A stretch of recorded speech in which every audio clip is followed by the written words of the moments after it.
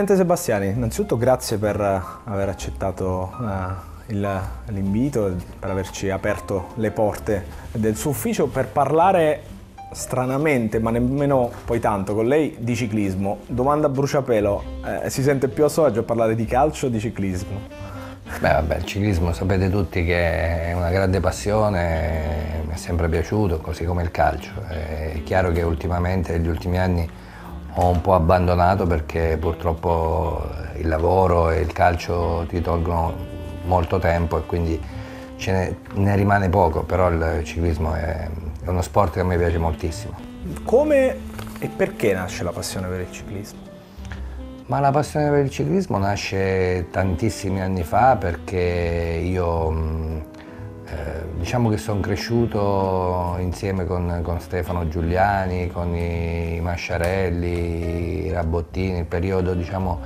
che, che loro erano professionisti e che erano eh, periodo in cui c'era molto attaccamento a questo sport anche qui in Abruzzo, si correva il Matteotti e c'era una giornata di festa con le strade piene, quindi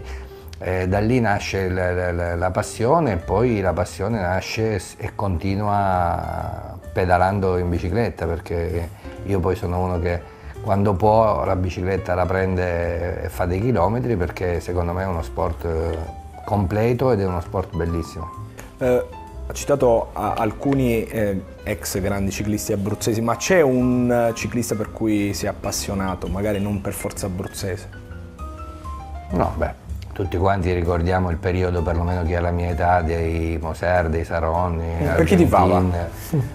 Ma io personalmente mm, mi piaceva più Moser per, per caratteristiche, per eh, carattere, però a mio avviso forse Saronni aveva qualche cosa in più come, come corridore, anche a livello di, eh, di, classe proprio, però Moser aveva un, un carattere eh, che a me piace molto e quindi riusciva a fare anche qualcosa in più rispetto alle, alle possibilità. A proposito di ex ciclisti abruzzesi, è inevitabile parlare del rapporto particolare che c'è stato, che c'è tuttora eh, con, con, Danilo Di Luca. Sì, sì, ma Danilo è un altro ragazzo di quelli che secondo me hanno fatto un pezzo di storia del ciclismo abruzzese e dispiace per come, per come è finita perché si poteva evitare eh, sicuramente, eh, però è chiaro che evidentemente in quei periodi questo sport forse era mm, frequentato, mal frequentato e magari tanti ragazzi sono caduti in situazioni in cui potevano evitare di cadere. Danilo sicuramente, io, io amo sempre dire che, perché nel ciclismo, il ciclismo molte volte viene sempre additato, non molte volte, sempre additato come ciclismo uguale doping. Ehm, a mio avviso non è così o non lo è per tutti e soprattutto c'è un dato di fatto che il campione resta campione e la mezza cartuccia resta mezza cartuccia perché vi posso assicurare che se qualcosa lo fa eh, Sebastiani in bicicletta o lo fa Di Luca, Di Luca resta sempre campione, eh, cavallo diventa cavallo da corsa, l'asino diventa l'asino da corsa, quindi eh, purtroppo le differenze ci sono e rimangono. Sarebbe bello, eh, ma questo vale per tutti gli sport, sarebbe bello pensare che tutto è pulito, che tutto si gioca in maniera corretta, e, però non è così, non, non, è così nel ciclismo come non è così negli altri sport. Io mi auguro, l'augurio è quello di, di migliorarsi sempre di cercare sempre di combattere le situazioni, le, le, la possibilità di, di, di scorciatoie che sono pericolose. È d'accordo quando si dice che nel movimento ciclistico i ciclisti proprio come categoria siano una eh, categoria molto più divisa di quanto non siano per esempio i calciatori con cui ha a che fare eh, tutti i giorni, sono una categoria molto più compatta e che riesce a tutelare molto meglio i propri interessi rispetto a quanto non facciano i ciclisti. Ma io dico che quando ci sono i soldi diventa tutto più facile e nel ciclismo purtroppo i soldi ce ne sono pochi e le squadre importanti sono veramente si contano sulle sulle dita di una mano e, e quindi è, è, chiaro che c'è maggiore divisione, c'è gente che magari corre con eh, società importanti, però c'è la stragrande maggioranza che corre per uno stipendio da, diciamo, da operaio, senza nulla togliere all'operaio e quindi è evidente che ci sia divisione, è evidente che ci sia eh, un movimento che non è forte come quello del calcio. È, è chiaro che qualcosa forse si sarebbe potuto fare in passato, eh, non è stato fatto e oggi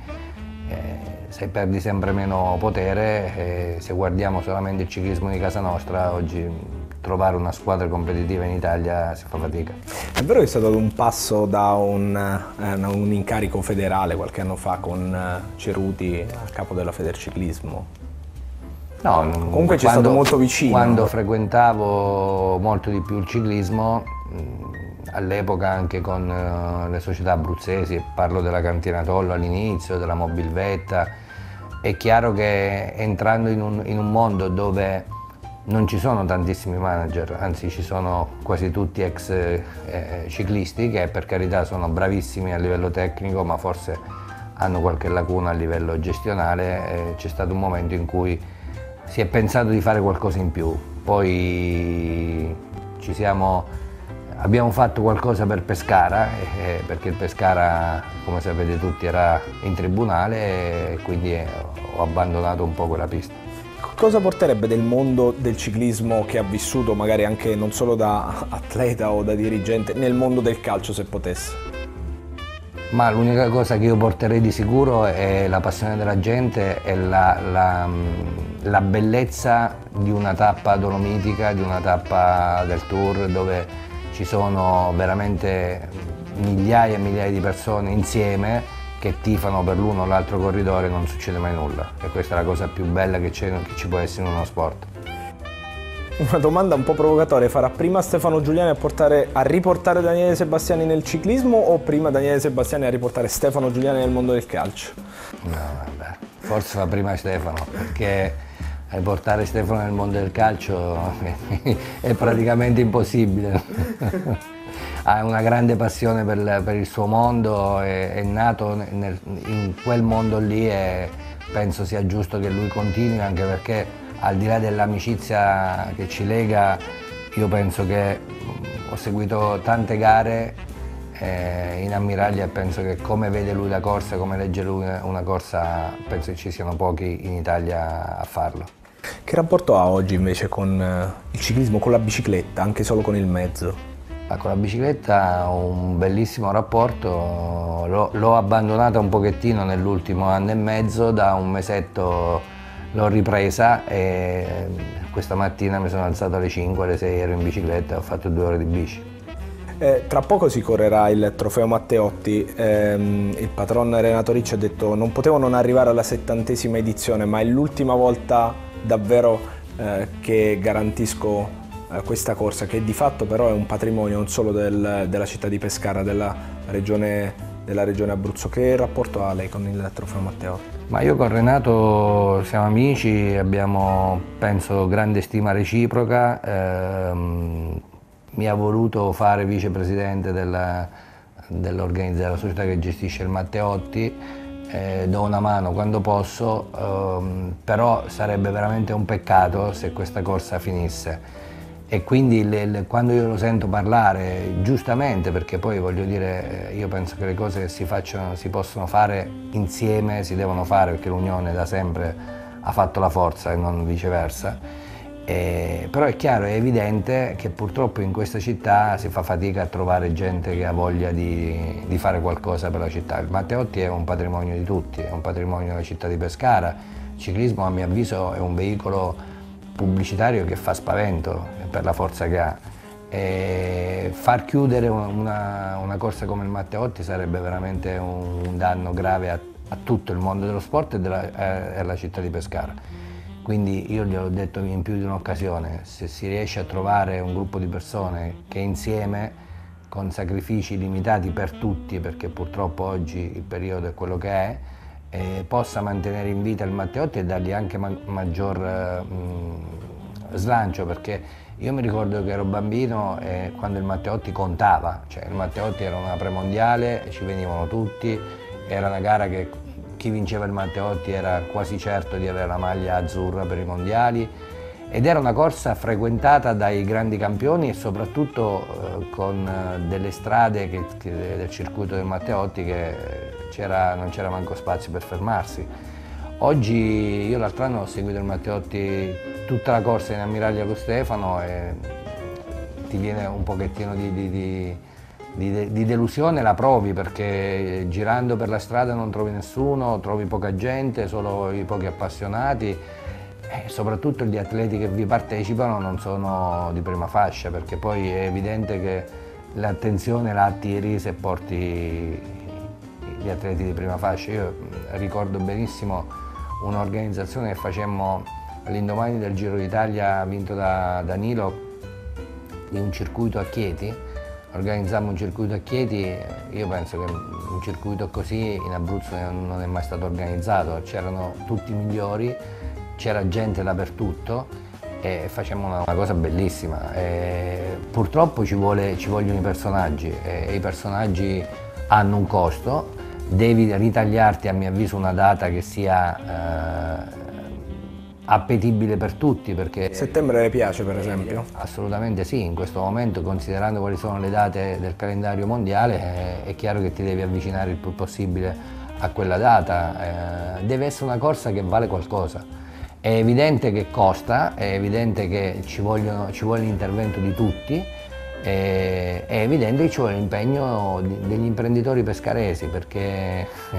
quando io dico Renato su questo mi ha, mi ha un po' ogni tanto mi, mi cita per questa cosa. No? Quando io dico che a pescare sono tanti imprenditori e pochi imprenditori, eh, non me ne voglia nessuno, ma la realtà è questa. E perché secondo lei? Perché ognuno preferisce fare fatti, farsi i fatti propri e probabilmente non ci hanno manco torto, perché se, se si considera che chi fa qualcosa eh, viene additato, viene addirittura, guardate quello che è successo a me nel calcio, eh, forse fanno bene gli altri, fanno bene quelli che prendono e scappano. E io non sono così mentalmente, cioè, per fortuna c'è tanta gente che, che, è ancora disponibile a dare una mano. L'altro giorno ho partecipato alla premiazione della pallanuoto. Beh, eh, se ci ricordiamo dove eravamo con la pallanuoto e, e dove siamo, eh, grazie oggi a, a Cristiana Marinelli, alla figlia del presidente Marinelli che ha voluto riprendere in mano questa società, e con tanti sacrifici sta cercando di riportarla ai livelli che, che, che competono a Pescara. Pescara è una città la, dove la pallanuoto è stata sul tetto del mondo. È come oggi, per esempio, nel calcio a 5. Noi oggi nel calcio a 5 abbiamo due squadre eh, in Abruzzo, eh, oltre a tutte le altre de, delle categorie minori, che sono la Juventus e il Milan del calcio a 5 e se finiscono queste il calcio a 5 finisce. Quindi eh, per me vanno eh, elogiati e incoraggiati anche dalle istituzioni quelle persone che hanno voglia di fare qualcosa. Da qui in avanti quanta parte della, della sua vita pensa che sarà dedicata alla bicicletta e al mondo del, del ciclismo? Ma io spero sempre, sempre di più, sempre di più perché intanto la bicicletta, come dicevo prima, è uno sport bellissimo e quindi di conseguenza fa anche bene. E, e poi perché significa che magari avrò più tempo e se avrò più tempo vuol dire che il Pescara sarà uscito da, da tutta una serie di problemi che mi porto dietro da qualche anno e quando i problemi diminuiscono l'impegno diventa di meno e chiaramente c'è più tempo per te stesso e per la bicicletta che è uno sport che amo. Vi faccio la domanda dell'inizio, si è trovato più a suo agio a parlare di di ciclismo piuttosto che di calcio, adesso che è finita no, l'intervista? Trovo, trovo allo stesso modo perché, ripeto, nel calcio io da bambino ho giocato e mi piace molto, sono da sempre tifoso e quindi parlo da, tranquillamente di calcio. Il ciclismo è uno sport che amo e quindi non, ho, non faccio difficoltà a parlare dell'uno e dell'altro sport. Grazie Presidente. Grazie a voi.